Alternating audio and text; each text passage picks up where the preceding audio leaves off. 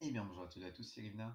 On se retrouve aujourd'hui pour la preview d'NXT TakeOver 25, le 25e NXT TakeOver, euh, qui aura lieu donc samedi 1er juin. Donc là voilà, on n'a pas de, de gros show euh, le lendemain, hein, puisque c'était Money in the Bank. C'est vrai que l'année dernière c'était Money in the Bank, enfin c'était TakeOver puis Money in the Bank. Cette année, bon, c'est deux semaines après, euh, mais bon, pourquoi pas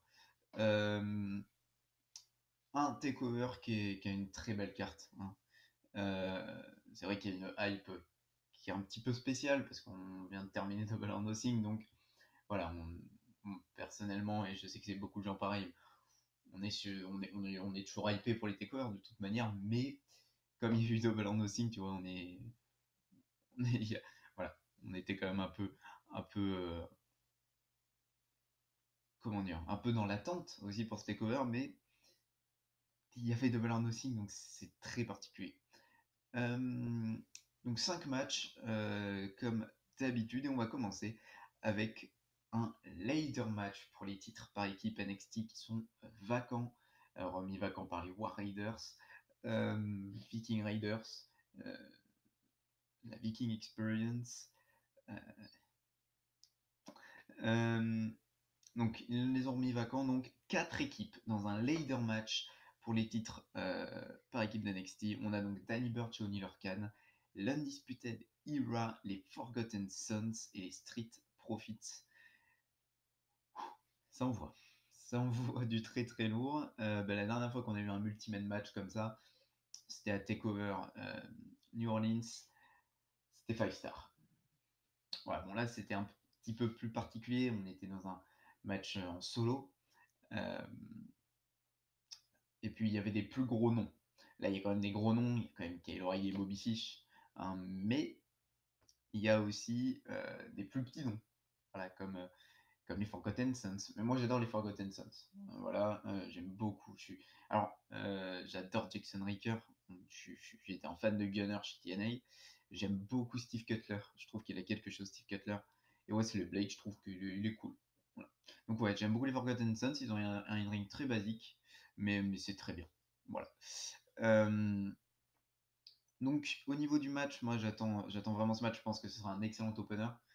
Voilà. Maintenant au niveau des vainqueurs, là j'ai enlevé Danny Burch et Neil Orkan, sachant que Neil Orkan est à Tour 5 Live, donc je ne vois pas remporter euh, les titres. Je vois pas l'Undisputed Era. Je vois pas l'Undisputed Era. Après, ce qui pourrait être cool, c'est toute l'Undisputed Era championne mais j'aimerais bien que ça tourne un peu. Donc maintenant, ça joue entre les Street Profits et les Forgotten Sons. Je vais aller avec les Street Profits. Euh, en plus, je pense que le, le match, par exemple, pour Montesford, ça va être génial. Je vais aller avec les Street Profits, mais, euh, mais attention aux Forgotten Sons, parce qu'ils sont quand même très bien build. Hein. Ils ont été en finale du, euh, du Dusty Team Classic. Donc, ouais, je vais quand même aller avec les Street Profits. Mais attention au Forgotten. Maintenant, le match, je l'attends. Je pense que ça va être incroyable et je pense que ce sera un excellent opener. Et euh, c'est le match qui me hype le plus, très clairement. Matt Riddle contre Roderick Strong. Donc là, il y a vraiment toute l'Undisputed Era qui, qui, a un match. Qui a un match hein. donc Roderick Strong contre Matt Riddle. Euh, les Ray Dragon, on va dire, dans, le leader match. Et Adam Cole en mini. Donc voilà, toute l'Undisputed Era a un match. Roderick Strong en un contre un contre Matt Riddle. Euh, bon, il y a eu des petites tensions dans la dispute à même si ça semble être un peu mieux. Mais on a ressenti les premières tensions, euh, notamment autour de, de Roderick Strong. Euh, je pense quand même qu'il va pas quitter la dispute à Voilà. Je, je, je, crois pas en Roderick Strong en solo chez WWE. Voilà, donc moi je le laisserai dans une dispute à il est génial dedans, donc pourquoi l'enlever? Maintenant, au niveau du match, j'ai allé avec Matt Riddle. Euh, il a perdu lors du dernier takeover. Euh, je ne le vois pas perdre une deuxième fois. Je pense qu'il y a un projet plus important autour de Matt Riddle qu'autour de Roderick Strong. Maintenant, le match, je l'attends. Euh, je pense que ça peut être intéressant. même si j'ai jamais été un fan des deux. Je les aime bien sans plus. Voilà, donc je suis un peu aux sur ce match. Je pense qu'il peut se passer des choses. Après, on verra, mais je pense que le match peut être très bon comme décevant. Donc ouais, j'ai peu d'attentes sur ce match. peu d'attente sur ce match, mais bon, euh, ça peut quand même être très bien. Voilà, donc je vais aller avec une victoire de Madrid. Shayna Baszler défend son titre féminin d'NXT contre Yo Shirai. Combien de fois j'ai prédit la victoire du challenger de Shayna Baszler? Ça fait très longtemps que Shayna Baszler, pour moi, doit perdre ce titre NXT et doit aller dans le main roster. Je trouve qu'elle a vraiment le profil main roster, et ça j'ai l'impression de le dire à chaque preview d'un takeover. Elle a vraiment le profil euh, main roster. Elle ne doit plus être à NXT. Euh, elle aurait déjà dû débuter euh, à WrestleMania, quoi. Quand tu vois que ta top heel pendant un temps du côté de SmackDown, c'est Mandy Rose, voilà, qui allait défier Asuka. Bon, il y avait Charlotte, certes, mais c'est un peu plus particulier. Donc, euh, enfin, chez Baszler, je comprendrai jamais. Pour moi, c'est, j'ai l'impression que c'est déjà trop tard, quoi. pour moi, il aurait dû débuter dans le main roster depuis déjà 4-5 mois, quoi. Depuis le Rumble. Donc, vraiment, je ne comprends pas. Je ne comprends pas le délire de Shayna Baszler euh, toujours à NXT. Alors, peut-être parce que c'est une des seules îles, on va dire, crédibles. Mais pour moi, euh, non. Tu peux mettre Bianca Belair en île voilà, tu, peux, construire des îles. Donc, voilà, pour moi, je, je, comprends pas. Honnêtement, je comprends pas et ça me fait chier, quoi. Je vais encore prédire euh, la challenger de Shayna Baszler, c'est-à-dire Yoshirai. Et je vais encore prédire un début dans le main roster pour Shayna Baszler, qui pour moi doit débuter dans le main roster depuis maintenant très longtemps. Et c'est vrai que son règne m'ennuie. Euh, voilà, pour moi, son premier règne, c'était très bien, il fallait s'arrêter là. Voilà, Kerry Sane euh, aurait dû peut-être un peu continuer. Ça servait à rien de redonner le titre à Shayna Baszler. Pour moi, c'est tiré sur la corde et voilà, pour moi, elle aurait dû débuter dans le main roster, comme je l'ai dit, depuis très longtemps. Donc, je vais aller avec Yoshirai une nouvelle fois. Maintenant, le match, je pense que ça va pas être très bien, même si j'adore Yoshirai. Pour moi, c'est la meilleure catcheuse in ring de, WWE, tout, tout roster confondu. Euh, Maintenant, contre Shayna Baszler, j'ai déjà, été déçu des matchs de Shayna Baszler et plus d'une fois. Donc euh, non, j'en attends rien de, rien de particulier. Euh, et j'espère vraiment que Yoshirai va gagner parce que ça commence vraiment à être chiant de voir, de voir Shayna. Pour moi, Shayna Baszler doit être dans le main roster depuis si longtemps. Et quand tu vois que tes top heels, c'est Lacey Evans et Charlotte. Alors Charlotte, c'est très bien, mais Lacey Evans, la Charlotte de Wish, quoi, c'est bon. Mais, euh, moi, je crois en Shayna Baszler dans le main roster beaucoup plus que, dans, que NXT. Voilà, bref, hein, j'ai l'impression de me répéter à chaque preview, mais Shayna Baszler doit perdre son titre et aller dans le main roster. Victoire donc de Yo Shirai, j'espère, mais je commence à plus y croire. Match pour le titre nord-américain, le Velveteen Dream défend contre Tyler Breeze, un revenant, revenant d'NXT. Alors, savoir que sur www.com, il n'a même pas euh, été remis dans la catégorie NXT. Euh, ce qui est le même, euh, le même cas de figure pour Alexander Wolf, qui est toujours dans la catégorie SmackDown. Euh, donc, alors attendez, ça je parle pour l'application. Je vais aller voir tout de suite sur le site. je j'en ai vérifié cette fois-ci sur le site et plus sur, l'application. Et c'est pareil. Donc par exemple, Killian Dane, qui a refait ses débuts dans des live events NXT, est toujours du côté de SmackDown Live. Alexander Wolf, qui a fait ses débuts chez NXT UK, est toujours sur SmackDown Live et Tyler Breeze est toujours sur Raw. Donc voilà, c'est les trois qu'on fait le retour en fait, non, en bas, on va dire entre guillemets. Euh, donc au niveau, je, vais d'abord parler sur le fait de ramener euh, des gens du côté d'NXT. Euh, alors pour Tyler Breeze, c'est un peu, est-ce que c'est pour le délire que c'est le 25e takeover? Si c'est ça, ça me dérange pas.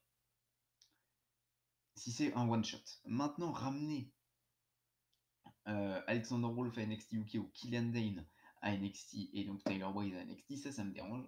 Donc ça n'a pas l'air d'être officiel. Hein. Pour l'instant, c'est pas officiel. Pour l'instant, ils sont toujours dans le main roster. Mais bon. Ça, ça me dérange un peu. Pourquoi? Parce que dans l'idée de WWE, NXT, c'est le bas de l'échelle. NXT, c'est le développement. Donc quand tu atteins le main roster, c'est que tu as fini ton développement. Donc pourquoi tirer te redévelopper en bas, quoi. C'est ça qui, paraît très bizarre et que je, comprends pas. Voilà, c'est ça que je comprends pas et, euh, qui me gêne avec cette idée-là. C'est en fait de revenir en bas pour, en fait, pour remonter en haut. Enfin, je trouve que dans, l'idée de WWE, ça, ne fait pas de sens. Donc, moi, j'aurais préféré que Taylor Breeze euh, soit viré et qu'il soit ailleurs. Pareil pour Alexander Wolf, pareil pour Killian Dane. Euh, maintenant, euh, ouais, ouais, et puis même autre constat, c'est que Taylor Breeze, il a déjà eu sa chance.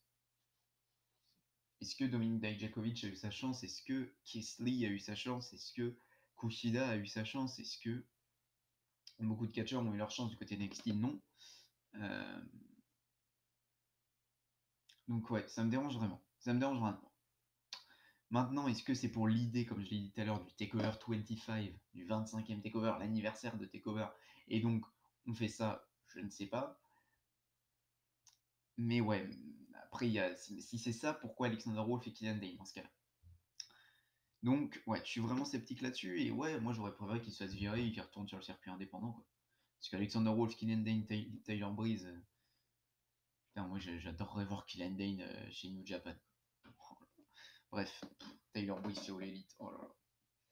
Euh, ouais, oh là là. Bref. Bon, Maintenant, au moins, on voit Taylor Breeze. Moi, je suis un énorme fan de Taylor Breeze. Vraiment, maintenant, euh, Velvet in Dream contre Taylor Breeze, j'attends énormément ce match parce que c'est deux gimmicks tellement particulières. Prince Pretty et, euh, Velvet in Dream. Enfin, le match, je l'attends vraiment. C'est un des. Y a trois matchs qui me hype beaucoup et deux qui me hype très peu. C'est très particulier. Mais euh, ouais, celui-ci me hype énormément. C'est deux gimmicks tellement particulières, tellement. Voilà, j'ai vraiment hâte vraiment de voir ce match, de voir les entrées. Euh, je pense qu'il va y avoir un duel au niveau des entrées aussi que j'attends beaucoup. Euh, maintenant, ce que j'ai un petit peu peur, c'est que Taylor Breeze ait perdu de sa superbe. Parce que ça fait longtemps qu'il n'a pas eu un vrai match dans un, dans un gros show. Un vrai match de quoi? Ça va durer combien de temps cette histoire? 15 minutes peut-être Un vrai match de 15 minutes, ça fait longtemps qu'il n'en a pas eu. quoi. Donc j'ai un peu peur. Voilà, c'est vrai que lors de World's Collide, le, petit truc contre Roderick Strong, c'était pas forcément très bien. Donc là, j'ai un peu peur. J'ai un peu peur. Mais bon, je pense que ça va être très bien. Je pense que ce sera le meilleur match de Taylor Breeze depuis très longtemps et, j'attends le match. Maintenant, je vais aller avec une victoire du Velvet in Dream.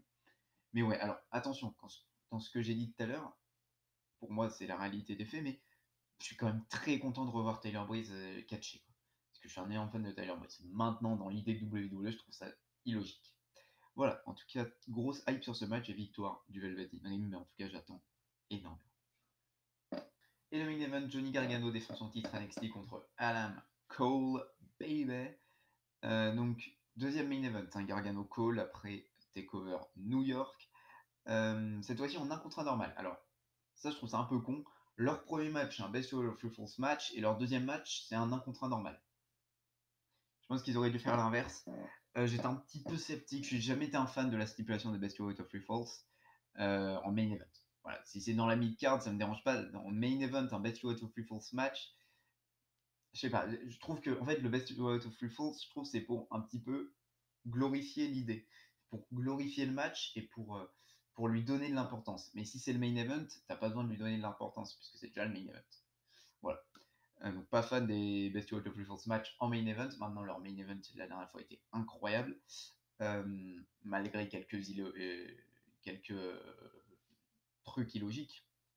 maintenant, voilà, là c'est un 1 contre 1 pur et là j'attends le match beaucoup plus. du coup, j'ai une grosse hype. Alors, faut savoir que Johnny Gargano a une petite blessure. C'est pas grand chose, mais, mais voilà, faut, faut le savoir. Mais ouais, j'ai une grosse hype sur le match. Maintenant, je me pose la question est-ce qu'ils vont faire gagner Adam Cole? Euh, Mon choix du cœur, il va sur Adam Cole. Très clairement. Mon choix du cœur va sur Adam Cole. Non, mon choix de la raison. Alors, il faut savoir que mes choix du cœur et mes choix de la raison, c'est à peu près pareil euh, partout euh, pour les autres matchs. Mais sauf pour celui-ci. mon choix du cœur, il va sur Adam Cole directement. Je suis fan de Gargano. Mais Adam Cole, je, trouve qu'il a le, facteur X qui n'a pas Johnny Gargano. Je, sais pas. je sais pas honnêtement parce que putain, pauvre Johnny Gargano, mais ça peut être aussi dans l'idée que dès qu'il gagne un titre, il perd après quoi. On l'a vu avec le titre nord-américain et donc là avec. Allez, je vais, aller là-dessus. Je vais aller sur une victoire d'Adam Cole et Johnny Gargano qui, du coup fait que perdre euh, ses titres. ouais, allez, je vais aller là-dessus. Je vais aller là-dessus, victoire d'Adam Cole. Mais j'en suis vraiment pas sûr. Maintenant, le match, je l'attends énormément. C'est deux mecs qui se connaissent, donc non, j'attends. J'attends le match et je pense que ça va être génial. Voilà, donc un bon takeover. Bon takeover, je pense. mais bon, est-ce qu'un takeover a déjà été mauvais? Voilà. En tout cas, merci d'avoir suivi cette vidéo. Je vous dis à la prochaine. Bye tout le monde.